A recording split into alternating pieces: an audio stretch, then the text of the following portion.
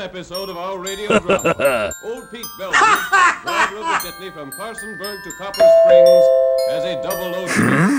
Pete's ancient bus is carrying the Flying Bee payroll and the passenger. His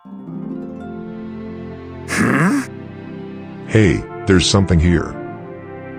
little do Pete Tom expect as they chug over the desert wasteland that just around the next curve, shifting. Hmm. What is this? Oh, shit. It is fucking disgusting.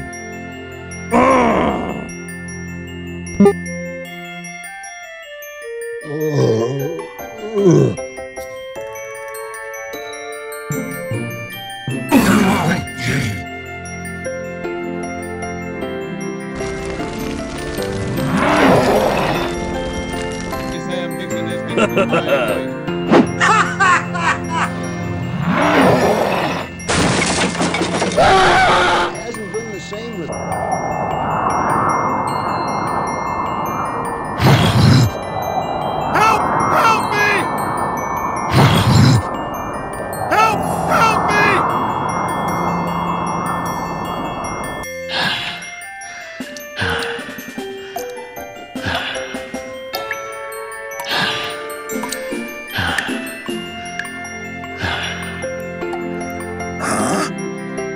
Help! Help me!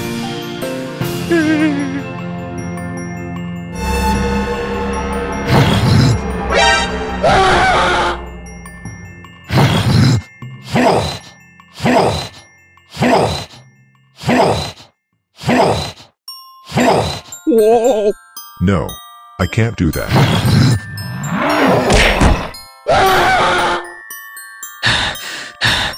We must hurry.